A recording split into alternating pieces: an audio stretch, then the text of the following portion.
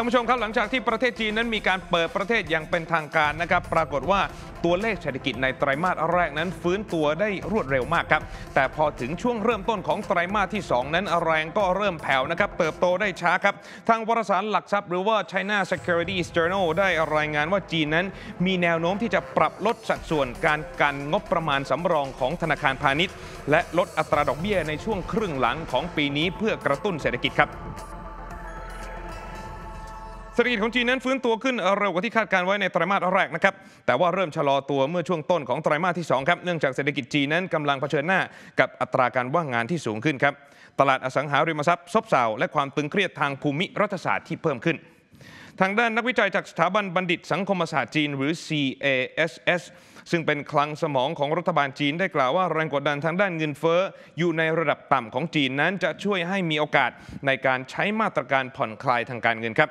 นอกจากนี้ยังมีการกล่าวอีกนะครับว่าประเทศจีนสามารถพิจารณาปรับลดอัตราดอกเบี้ยเพิ่มเติม และปรับลด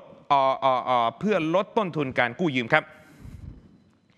ทางด้านหัวหน้านักเศรษฐศาสตร์จากเจ้อซังเจิ้งเชียน Securities บริษัทหลักทรัพย์ของจีนคาดการณ์ครับว่าจะมีการปรับลดอัตราดอกเบี้ย และการปรับลด RRR ในช่วงครึ่งหลังของปีนี้นะครับโดยคาดการณ์ว่าธนาคารกลางสหรัฐนั้นอาจจะเข้าสู่วงจร ปรับลดอัตราดอกเบี้ยในไตรมาสสุดท้ายของปี และจะทำให้จีนมีโอกาสดำเนินนโยบายผ่อนคลายทางการเงินได้มากขึ้นครับ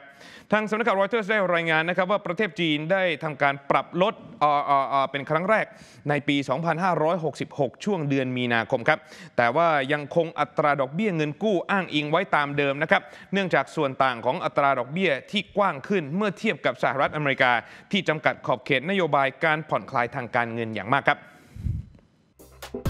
ขอบคุณทุกท่านที่ติดตามรับชมรายการย่อโลกเศรษฐกิจกับผม ป๊อบนัทพงศ์นำสรีกุลนะครับ อย่าลืมกดไลค์ กดแชร์ กด subscribe และกดสั่นกระดิ่งด้วยนะครับ เพื่อท่านจะได้ไม่พลาดรับชมติดตามข้อมูลข่าวสาร และคลิปวิดีโอดีๆ ก่อนใครที่นี่ที่เดียว TNN ช่อง 16 ครับ